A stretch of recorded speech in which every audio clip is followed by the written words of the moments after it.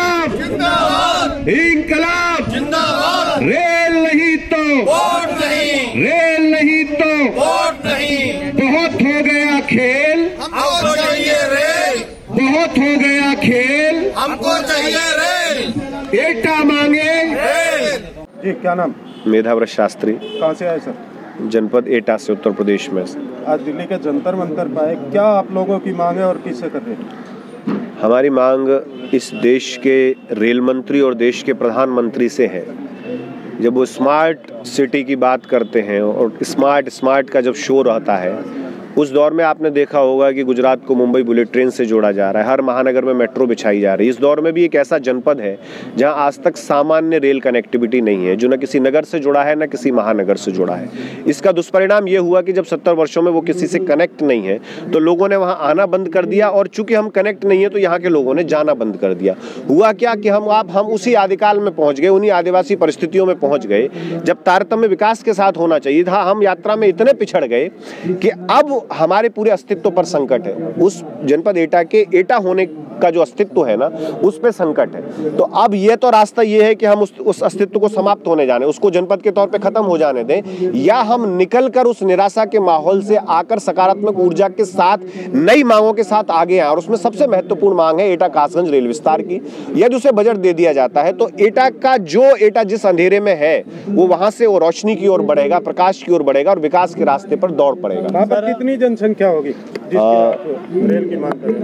बाईस लाख तो करीब वोटर है वहाँ चार विधानसभाएँ हैं और आबादी कम से कम बत्तीस लाख की होगी। सर आपने कहा है रेल नहीं तो वोट नहीं तो इसे वोट से क्यों जोड़ के आप मुझे लगता है कि लोकतंत्र में जो सबसे बड़ी हथियार एक जनसाधारण के पास होती है तो वो वोट की ताकत होती है। और आपने वोट की ताकत अभी हाल में देखी। जिस किसान आंदोलन को आतंकवादी खालिस्तानी क्या क्या नहीं कहा गया और उसको वापस लिया गया और माफ़ी मांगी गई क्यों मांगी गई? सिर्फ़ इलेक्शन सर पे है और वोट का डर है। तो जब हम हम किसी भी अच्छी क्रांति से कुछ सीखते हैं तो हमने वहाँ से सीखा कि जिसको वोट का डर है उसे वोट का डर दिखाओ। और मैं आपको बताऊँ ये डर से ज़्यादा वहाँ के लोगों की निराशा है। लोग पार्टिसिपेट ना 2022 में चुनावों में करेंगे ना 2024 में करेंगे। उनका सीधा सा है हमें रेल दे दो हम आपके पक्ष में वोट कर देंगे। जो रेल नहीं देगा वो उसको वोट नहीं करेंगे। लेकिन इससे चुनाव का पूर्ण बहिष्कार करेंगे। इससे पहले वाली पार्टियों से आपने कभी ऐसी मांग की? उन लोगों ने ये पिछले सत्तर वर्षों से सतत चल रही है। दोषी इसमें कोई एक सरकार नहीं है कोई व्यक्ति नहीं है। सारी सरकारें इसकी दोषी हैं। इसीलिए जो हमारी इमोशंस है मैंने बताया ना हमारी भावनाओं को इन सारी क्या कारण देखा जा रहा है कि वहाँ पे सत्तर साल से आप लोग आवाज़ उठा रहे मगर कोई भी सरकार आप लोगों की मांग को पूरा नहीं कर ऐसा होता है जब हमें वोट सिर्फ़ इस आधार पर मिल जाए कि हम जिस किस जाति के हैं। हम उस आधार पर जब जीतने लगते हैं तो धीमे धीमे लोगों की जो आवाज़ है, वो दबने लगती है। लेकिन है क्या कि फिर जागृति उसके बाद आती है। जब हम बॉटम पे पहुँच जाते हैं ना, उससे नीचे तो जाएँगे नहीं। जब हम आज वहाँ खड़े हैं, जहाँ से अस्तित्व पर संकट है, या तो हम इससे आगे जाएँगे, या वहाँ समाप्त हो जाएँगे। तो लोगों ने आगे चलने की कोशिश की है, जातियों के धर्म के दायरे तोड़ने की कोशिश। अब वो कहते हैं कि एटा फ़र्स्ट मतलब पहले एटा की बात होगी, फिर किसी और की। क्योंकि एटा बेहतर होगा तो हम सबका जीवन बेहतर होगा। इसीलिए अब हम सबका एक ही मांग है कि एटा कासन रेल विस्तार होना चाहिए। अगर नहीं आपकी कोई सरकार सुनती। तो आगे के कदम क्या होंगे एटा के लोगों के? 2022 के चुनाव का पूर्ण बहिष्कार होगा जिसका पूरा मन बन चुका है। मुझे ऐसा डर है कि जो युवा पीढ़ी है या तो वो पलायन कर जाएगी नहीं तो उनमें आत्म ग्लानि जैसी डिप्रेशन की ऐसी शिकायतें हो सकता है लोग आने वाले समय में समूहों में आत्मदाह करें। सुदेश जी क्या कहना चाहेंगे? क्या कारण रहा कि आप लोगों को कभी सुविधाएँ नहीं मिल सकी आपके जनपद में?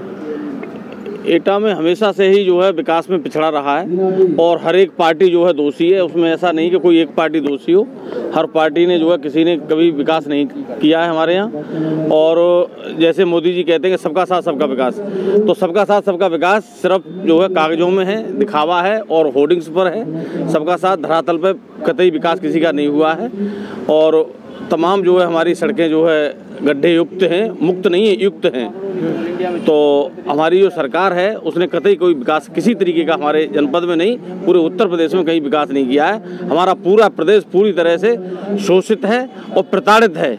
इस सरकार से। सर ए- हमारा पूरा किसान वर्ग परेशान है। सर अगर यूपी की बात करें आजकल बड़े बड़े होर्डिंग लगे हुए हैं। जी। यूपी में कि स्पीड से कार्य हो रहे और आप कह रहे कि आपके वहाँ कोई कार्य ही नहीं हुआ।